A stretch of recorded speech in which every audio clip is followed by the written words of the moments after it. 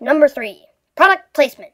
In an era of TiVo and other digital video recorders, more and more people are skipping over traditional commercials. As a result, advertisers are seeking other ways to show off their products. The latest fad is product placement, where a product or brand appears or is discussed in the show itself. Last year, there were over 100,000 paid product placements on network television. But as the product placement frenzy grows, many are worried that it is changing what we see. Scripts are being tweaked to increase the number of placement opportunities. Add a scene at a Burger King, pass around some Junior Mints, or drink a Pepsi.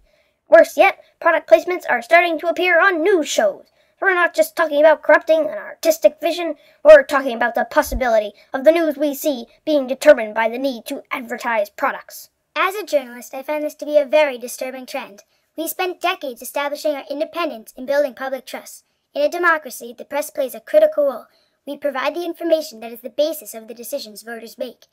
We must never subjugate that sacred task to the desire to sell more colas. I couldn't agree more.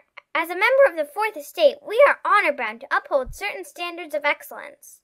Speaking of excellence, the fine folks at Bill's Pizza, 14 Main Street, Hopkinton, Massachusetts, have always felt honor bound to bring you the highest quality food on the run.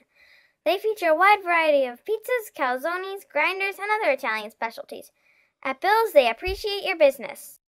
And I think we all appreciate the importance of maintaining our journalistic independence. Yes, Big, you're right. You know, many TV producers think they can slip in a few promotions in a very subtle way, that they really don't change the content much, and that the public won't notice. But I think they really do notice. Like they notice how, for over 15 years, EMC's CLARiiON network storage system have led the industry in delivering the reliability needed to support demanding mid-range applications. Today's CX3 offers significant advances in ease of use and new consolidation capabilities. Absolutely. I think the viewing public is too smart for this. They know when they're being pitched a product. Besides, it's pretty obvious when the thing being pitched doesn't fit in. Of course, you'll never have any trouble fitting in at Bill's Pizza. They welcome every customer like they were family, and there's lots of free parking in the rear. Yes, I think we can all agree that product placements have no place on news shows. Just like we can all agree that EMC's file virtualization and management technology, new policy based archiving across heterogeneous NAS and CAS will simplify and reduce TCO. Definitely. Oh, well, I think so. Excellent. It's definitely special. Special like the specialty pizzas at Bill's Pizza. They're featuring Hawaiian pizza with pineapple and Canadian bacon. Ugh. Topic number four Peanuts. Ooh, I think I'm gonna like this one. No, I'm afraid not. Well, you just don't like it because Snoopy is such a famous dog. You have to admit he's kind of cute. No, no, not Peanuts the comic strip. Peanuts the nut. See, I told you I was gonna like it. No, I'm afraid not, Peck. The topic is peanut allergies. Recent research reported in the Journal of Allergy and Clinical Immunology reports that between 1997 and 2002, the prevalence of peanut allergies doubled. Currently, about 1% of the population suffers from peanut allergies. Peanut allergies can be quite nasty. Even small amounts can cause severe reactions, it is estimated that 100 to 150 people in the U.S. die each year from peanut allergies. As a result, peanuts have become the new toxic waste of the 21st century. Some schools have even gone so far as to ban all peanut products from their grounds. This is terrible. I hate to see people get hurt, but I love peanuts. Peanuts are my life. I need peanuts. Now, Pack, we all have to make sacrifices for the greater good. Why, I myself gave up small birds. Like Woodstock? Good grief, Pignella Hamswell. We're not talking about the comic strip, but now that you mention it, properly prepared, that little yellow ball of fluff would be delectable. Perhaps a nice Kung Pao. I thought Kung Pao had peanuts in it. Ah, so it does. I'm beginning to see your problem. I didn't know you liked peanuts, Buford.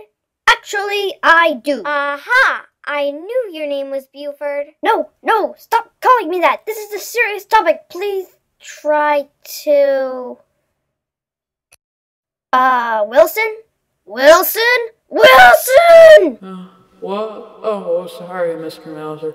I fell asleep leaning on the controls. You guys should really try to pick more interesting topics.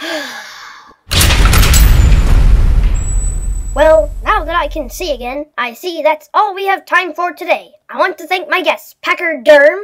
Uh, Thanks, Kit. And Pignella Hamswell. It was a pleasure to be here with you, Bufy. Now stop that!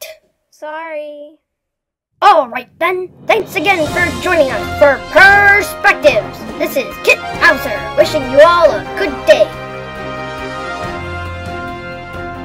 This has been a presentation of the Feline Broadcasting Company.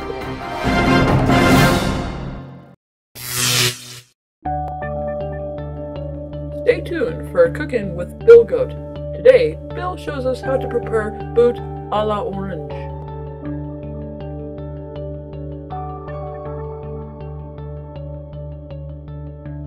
Uh, Kit, I think they're still looking at us.